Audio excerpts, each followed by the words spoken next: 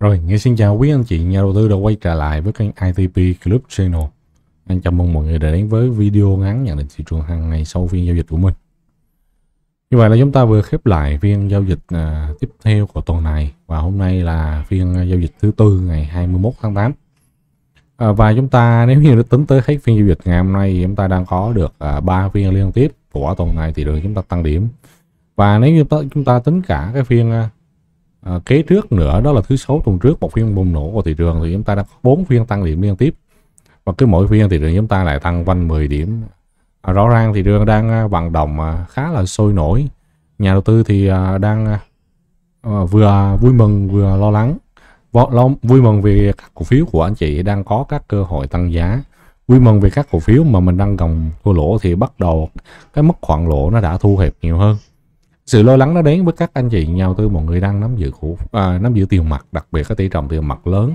Anh chị mọi người đang sợ thì đường bỏ rơi. Anh chị đang sợ về việc mọi người không thể mua được cổ phiếu. Thì à, à, liệu thị trường chúng ta có như một cái thumbnail mà ngày hôm nay người đang để cái dòng chữ đầu tiên? Đó là càng sợ thì càng lên hay không?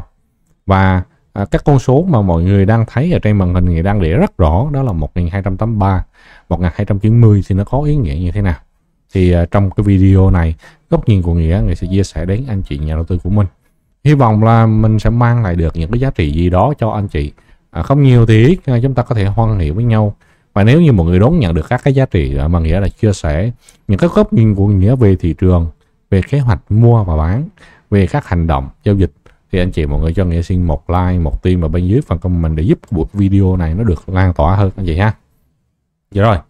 Ok, đi vào à, nội dung của video anh chị ha. Thì à, trước tiên à, à chúng ta sẽ à, tia qua tí à, về à, các cái chỉ số ở bên ngoài. À, cái chỉ số đầu tiên chúng ta sẽ nhìn với nhau đó là chỉ số à, Dow Jones.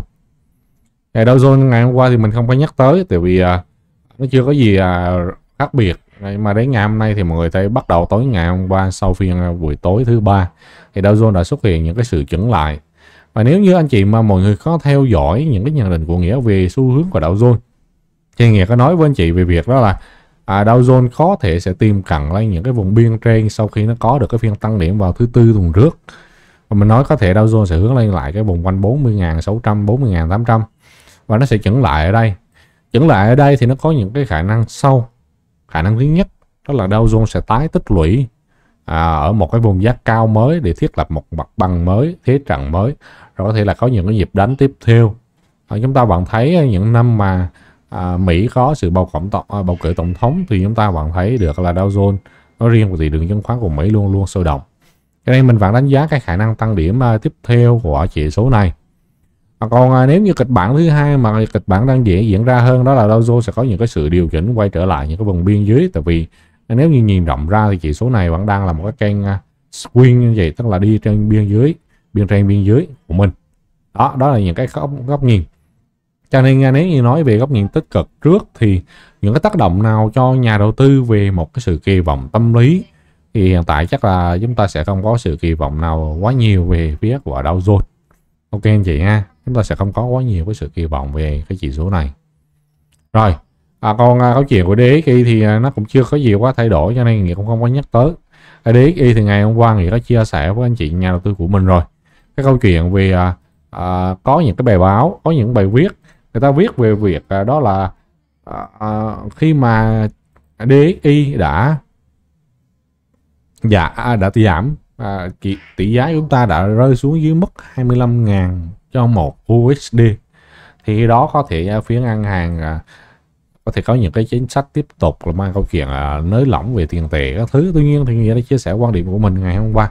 Anh chị nhà đầu tư nào mà mọi người chưa nghe thì mọi người có thể à, à, xem lại cái video chiều ngày ngày hôm qua anh chị ha. Rồi còn à, quay về với lại thị trường của chúng ta thôi. À, thì à, à, điều đầu tiên cái thông tin à, tích cực nhất của phiên giao dịch ngày hôm nay mà à, có nhà đầu tư mọi người đón nhận đó là cái câu chuyện về tối ngày hôm qua chúng ta đã có một cái thông tin rumor rồi nhưng mà vậy đến trưa ngày hôm nay thì mình mới bắt đầu thấy có khá là nhiều anh chị nhau tôi mọi người chia sẻ về cái thông tin này. À, thậm chí cuối phiên giao dịch thì mới bắt đầu thấy chia sẻ một cách rầm rộ. Đó là việc ba ngân hàng à, quốc dân của chúng ta đó là Vietcom, BID và CTG thì được à, duyệt là tăng vốn điều lệ.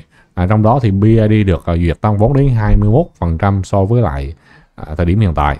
Thì cái điều đó nó làm cho à, các cổ phiếu của nhóm ngành ngân hàng ở ngày hôm nay đang tăng điểm khá tốt à, cái thông tin này là một cái thông tin rumor đến từ tối ngày hôm qua kìa. Nhưng mà sáng ngày hôm nay thì không có bao nhiêu anh chị nhau tư mọi người nhắc tới. Phải đến chiều phải đến trưa ngày hôm nay bước qua giờ nghỉ trưa thì bắt đầu cái thông tin đó mới xe nhiều. Và chúng ta thấy rõ ràng cái thông tin đó cũng à, chính là cái điểm nhấn của thị trường chúng ta ở phiên giao dịch ngày hôm nay. Khi chúng ta có à, được cái nhóm ngành ngân hàng tăng điểm quá tốt ở phiên giao dịch. À, chúng ta đang thấy được cái nhóm ngành ngân hàng đang à, tăng điểm khá là rực rỡ ở phiên giao dịch ngày hôm nay chúng ta có NAB tăng 3,96% CTG chúng ta tăng hơn 3% BID, BBB, Vietcom. Thì rõ ràng các anh lớn như vừa nhắc tới những cổ phiếu quốc dân những ngân hàng quốc dân được nhắc tới câu chuyện tăng vốn thì đang có được cái khả năng tăng à, tốt ở phiên dịch ngày hôm nay. Và việc đương nhiên khi mà những cái mức tăng của các anh này mà nằm trên hai phần trăm thì thị trường chúng ta không có gì thì không thể đúng không gì thị trường nó không thể giảm được à, nó phải tăng thôi và chúng ta đang thấy được chúng ta có được cái phiên giao dịch tiếp theo là một phiên tăng điểm. Ngày hôm à, thứ hai chúng ta cũng có một phiên tăng điểm quanh 10 điểm. Ngày hôm qua chúng ta cũng có một phiên tăng quanh 10 điểm và ngày hôm nay chúng ta cũng có một phiên tăng quanh 10 điểm. À, điểm số của thị trường ngày hôm nay đang đóng cửa là 1284.05 và nếu như so với là cái đáy của thị trường chúng ta đã chạm về ở phiên giao dịch thứ hai cách đây 2 tuần thì chúng ta đã có thị trường tăng 100 điểm tính từ đấy 100 điểm thị trường viên 1184 chấm mít. Và thị trường đang đi lên ở phiên giao dịch ngày hôm nay là 1284 chấm mít. Thị trường chúng ta đang tăng đúng 100 điểm. Thì rõ ràng một cái mức tăng điểm rất là ấn tượng, chứ không phải là đơn giản như vậy. Thật sự để có một cái lời khen thì mình nghĩ khá là khen cho các cách mà tạo lập thị trường. Người ta đang điều phối về mặt điểm số. Tuy nhiên cái cuộc diện của thị trường thì ờ, có vẻ như nó không được rực rỡ như vậy đương nhiên à, nếu như nhìn về mặt kết quả thì chúng ta bạn thấy được cái sắc xanh đang chiếm một cái tỷ trọng à, nhiều hơn. 241 cổ phiếu tăng xanh à, chỉ có 174 mã giảm. Diễn biến của ngày hôm nay được đánh giá khá giống với diễn biến của phiên giao dịch ngày hôm qua. Phiên giao dịch ngày hôm qua thì chúng ta có buổi sáng có một cái trạng thái lên sinh sáng ngày hôm qua nghĩa thị trường tăng 4 điểm tuy nhiên số cổ phiếu giảm vẫn đa số. Phiên dịch sáng ngày hôm nay điểm số thị trường chúng ta kết phiên buổi sáng chỉ đâu đó không chấm mấy điểm thôi chưa được một điểm mà quanh tham chiếu chúng ta cũng là một cái diễn biến buổi sáng đóng cửa và đa số các cổ phiếu lại giảm. Nhưng đến phiên chiều thì cái cục diện thị trường chúng ta lại sao chị? Lại là cứ kéo điểm đi lên cứ kéo điểm đi lên.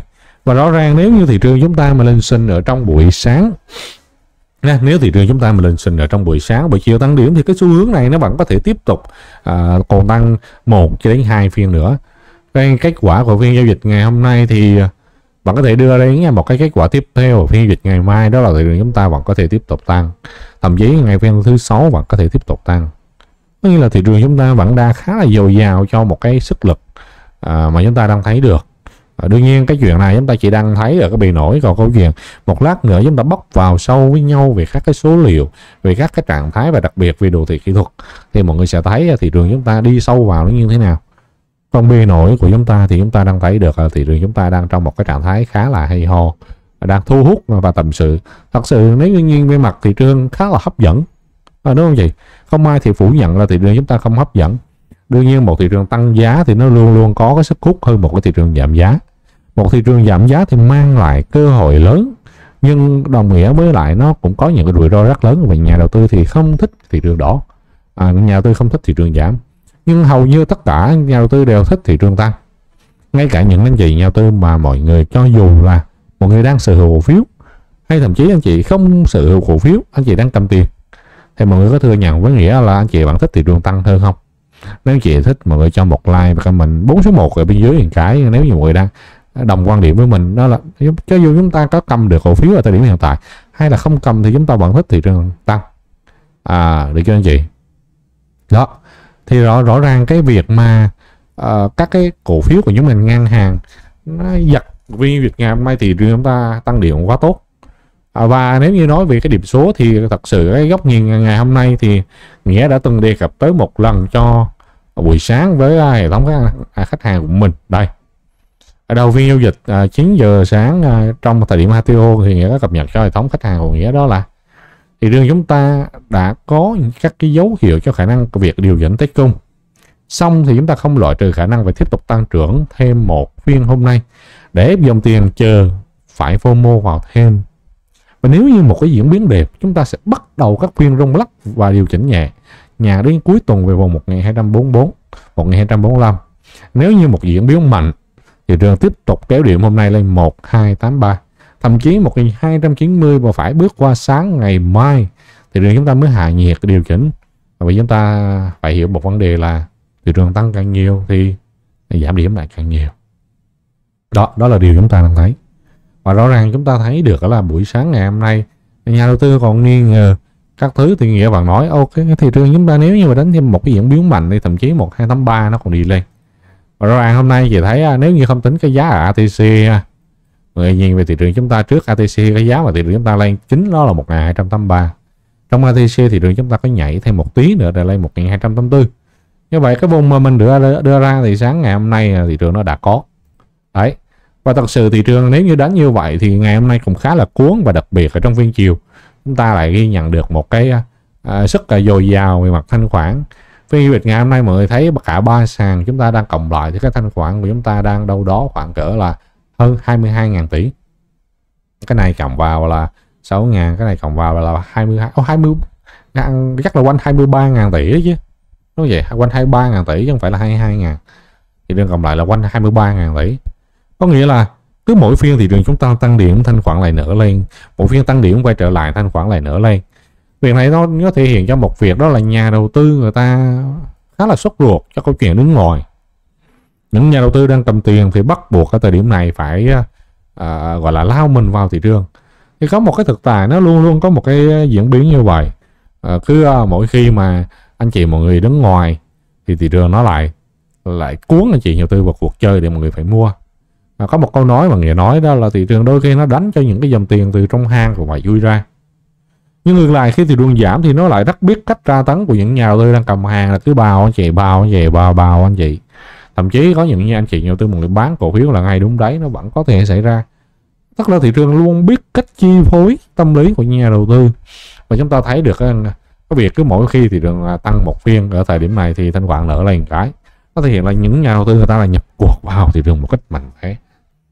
Nhà đầu tư người ta vào thị trường một cách mạnh mẽ anh chị. Có người ta không uh, chịu được nữa người ta đứng ngoài. Mình không biết là anh chị mọi người có vào phun hàng hay không. Người ta có vào một cách phun ờ, hàng hay không nhưng mà chắc chắn ít nhiều còn phải nhập cuộc chơi. Nhưng ngược lại chúng ta cũng sẽ nhìn cho một cái sự đối trọng. Đó là mùi sao thanh khoản nó có thể nở thì nó phải có được hai chiều.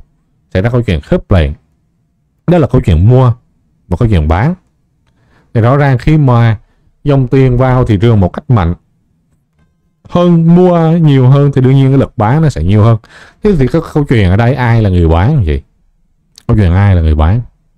Chúng ta phải đặt ra một cái dấu chấm hỏi như vậy. Ủa? Ai là người mua. Nghĩ rằng đương nhiên câu chuyện mà để tạo ra được cái sự kích thích.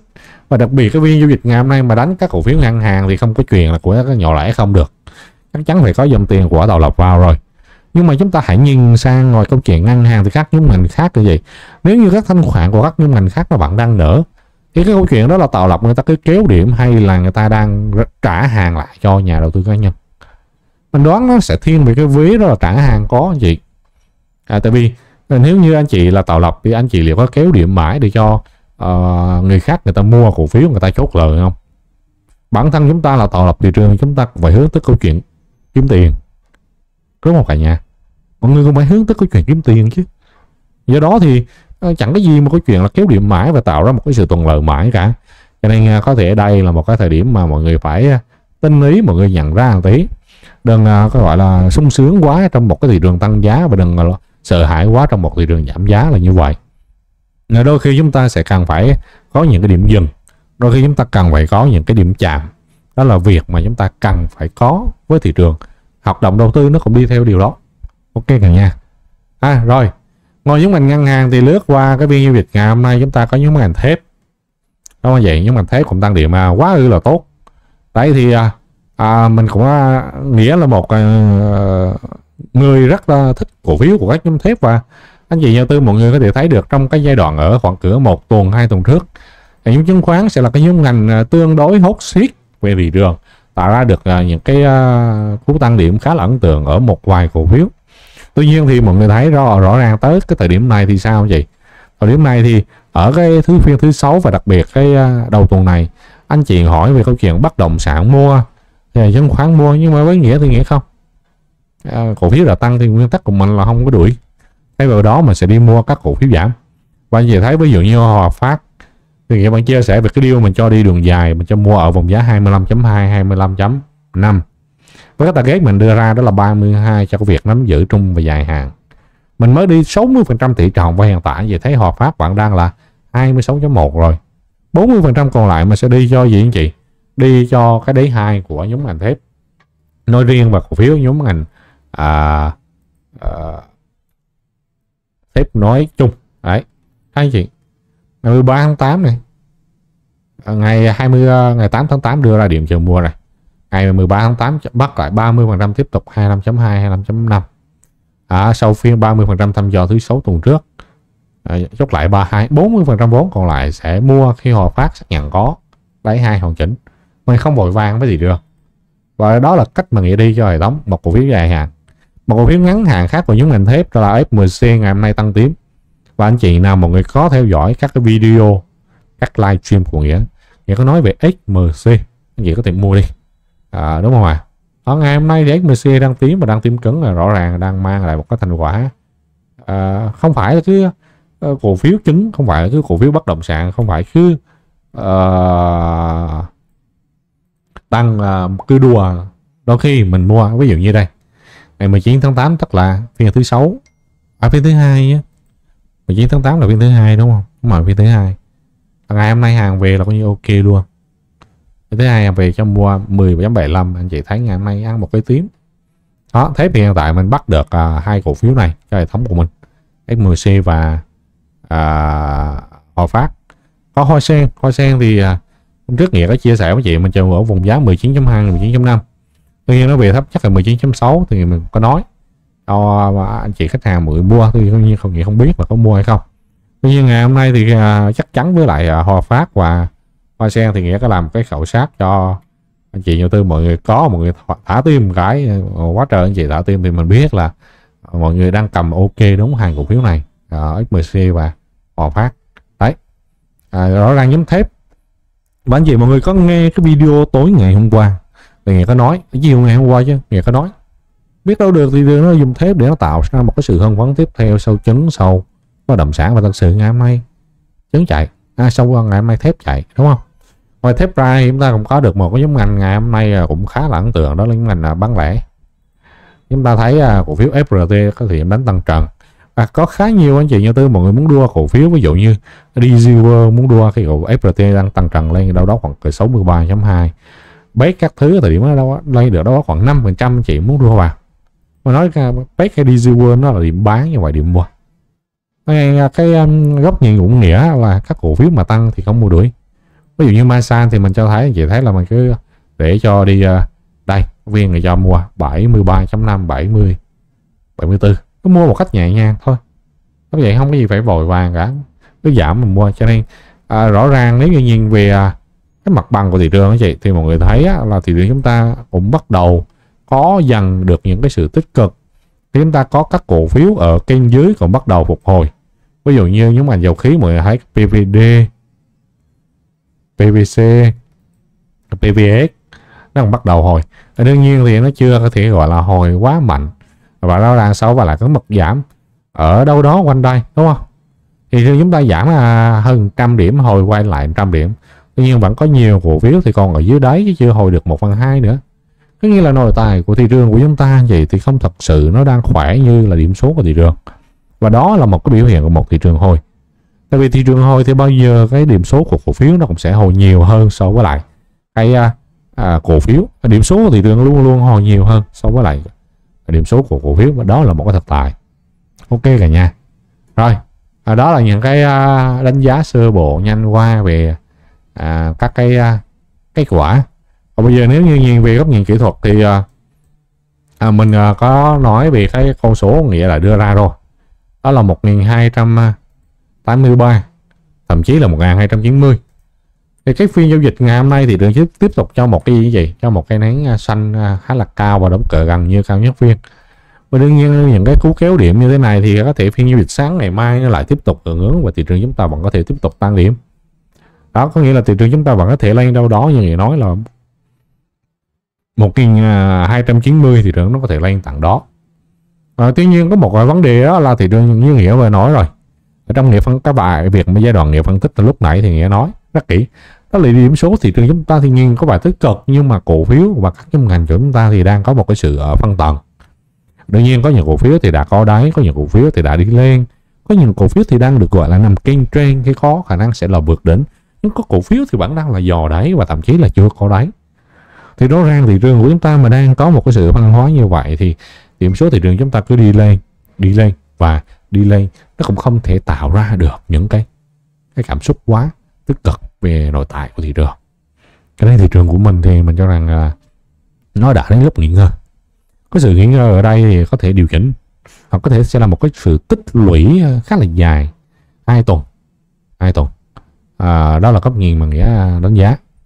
Và có một cái việc nữa đó, như mình à, nói ở buổi sáng luôn đó là cái việc thị trường nếu như mà thậm chí à, tiếp tục kéo điểm lên 1283 thậm chí 1280 anh chị thì gì?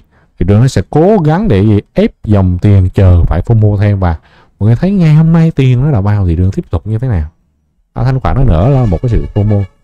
Và biểu hiện một cái trạng thái rất rõ đó là sự hưng phấn thị trường đang lấy rất lớn rồi mọi người sẽ để ý nha. Sự hưng phấn thì đương đã đến rất lớn rồi và đương nhiên cái sự hưng phấn này nó à, sẽ không à, có thể à, gọi là chỉnh ngay. Cái sự hưng phấn này có thể nó còn là nếu kéo nhà đầu tư thêm một phiên hai phiên. Cái sự hưng phấn này nó thể hiện cho là nhà đầu tư người ta đang rất sẵn sàng để phô mua cổ phiếu. Anh chị rất sẵn sàng để đua cổ phiếu. Tuy nhiên ở đây nghĩa không nói là tất cả anh chị đang theo dõi video này. Mà mình nói đa số nhà đầu tư trên thị trường nó sẽ là như vậy. À, mọi người rất sẵn sàng đua cổ phiếu mọi người không tiền mà thấy cổ phiếu mình chạy, mình không ờ, mua à, cứ nhấp nhỏ nhấp nhỏ thì cứ nhảy vào. Và đây là cách thị trường chúng ta đang à, đánh. Mà thị trường đánh như thế này thì đây là cái vùng có phải để anh chị mua. Ở đây là vùng để anh chị chị bán. Và ngày hôm nay trong hệ thống khách hàng của nghĩa thì không mua bất cứ một cổ phiếu nào. Nghĩa chia sẻ thật sự là như vậy. Ở đây có các anh chị nhà đầu tư khách hàng đang xem video này. Có thể kiểm chứng. Không ngày hôm nay thì không cho khuyên mua bất cứ cổ phiếu nào. Ngày hôm qua thì có mua. Ngày hôm thứ hai không có mua nhưng mà ngày hôm nay là tuyệt đối mình không cho mua cái điều gì cả. Tại vì à, mình thấy được đó là cái sự kéo điểm từ trụ. Và mọi người thấy rõ ràng thì chúng ta đang điều trụ tiếp tục. 11.000 tỷ cho VN30 và 20.000 tỷ cho VN Index. VN30 chúng ta vẫn chiếm đâu đó hơn 1 phần 2 và quanh 1 phần 2 toàn bộ thanh khoản của thị trường. Thì có nghĩa là tiền đang dùng trụ để điều phối và cuộc chơi có thể lại trả hàng cho những nhà đầu tư đánh mid cap và penny vì đó là đại đa số nhà đầu tư cá nhân người ta tham gia vào cho nên cái sự hưng phấn của thị trường nó đang lên cao thì anh chị cần phải chú ý. Cần phải cảnh tỉnh. Đây, tới buổi chiều là người ta nói cho hệ thống, thị trường đang diễn biến thế này thì hoàn toàn tiếp tục sẽ kéo rướng. Vì vùng, vì cản là vùng chứ không phải là đỉnh. Và sự hưng phấn là đã diễn ra thì tất nhà đầu tư chúng ta đã phun mua mạnh.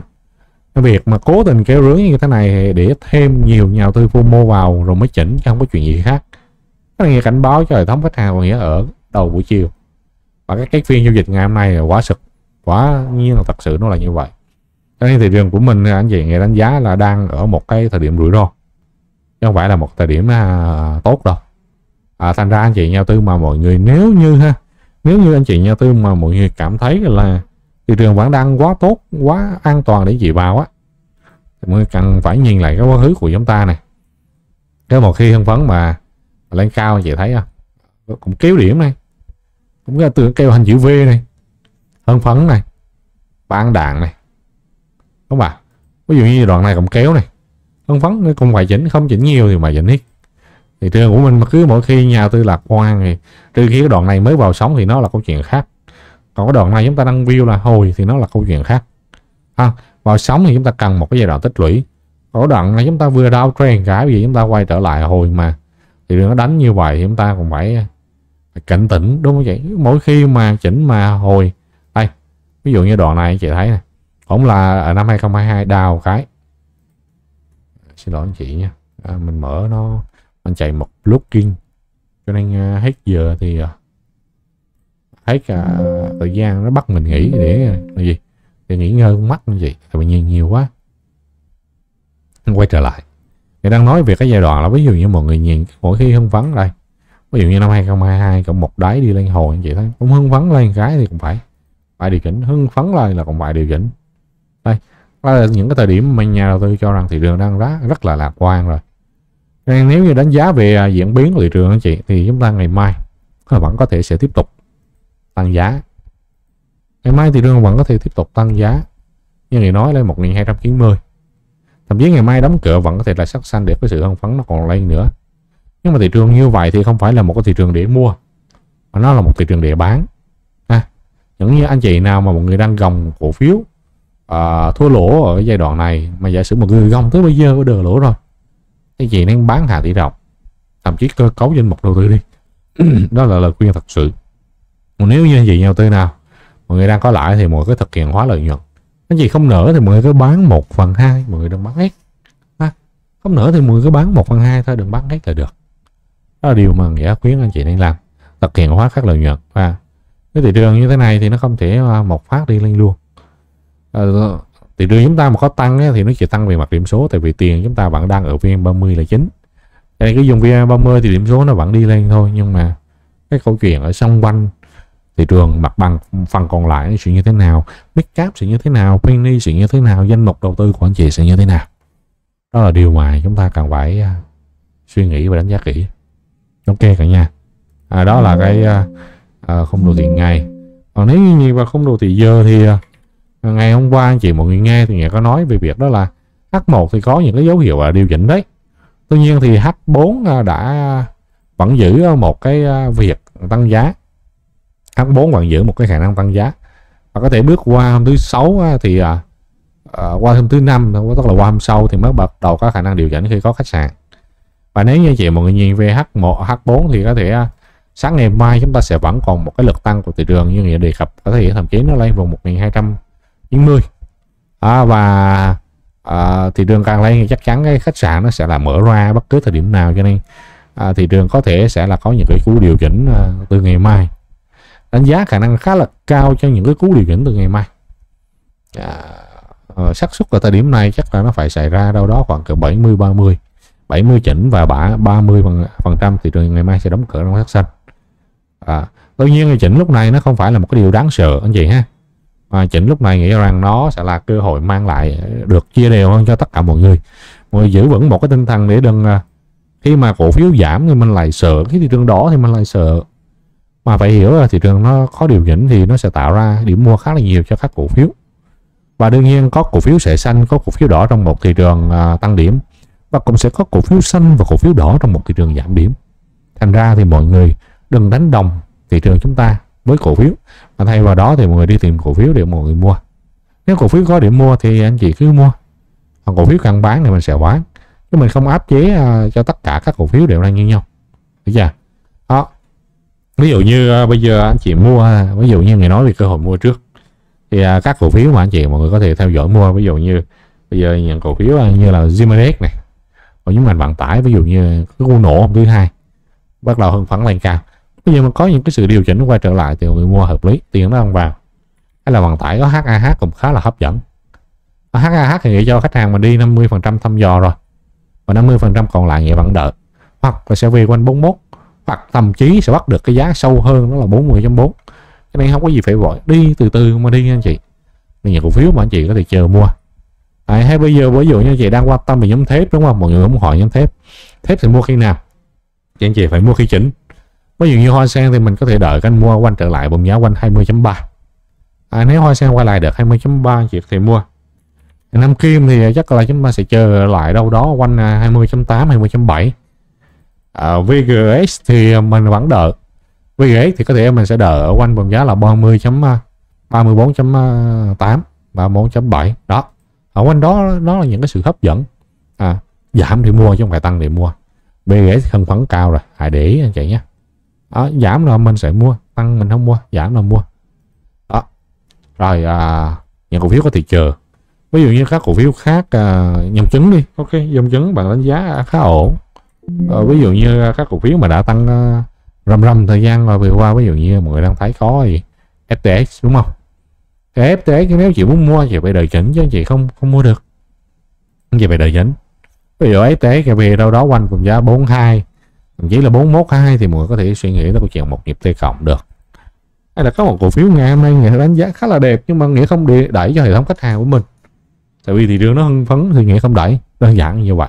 Đó là HCM HCM mình vẫn ờ, chờ điểm mua. Đó là điểm mua của HCM nó nằm ở quanh vùng giá là 26.5 đến 27.6 vậy cánh giảm gì mua. Không gì phải à, đi đâu à, lăn tăng à, anh chị anh giảm mà mua. Hoặc là có một cổ phiếu cũng đã nổ ở hôm à, thứ hai đó là HX HX cũng đã nổ thứ hai và hôm nay đánh cây nấy như thế này là ok chuẩn bị cho anh chị mua được rồi. HX canh quay trở lại vùng giá là 16.6 là mua. Những cổ phiếu mà tiền đã vào và anh chị thấy bắt đầu có những cú test cung trở quay trở lại thì cứ canh giảm mà mua. Không có gì phải đứng ngoài đúng không?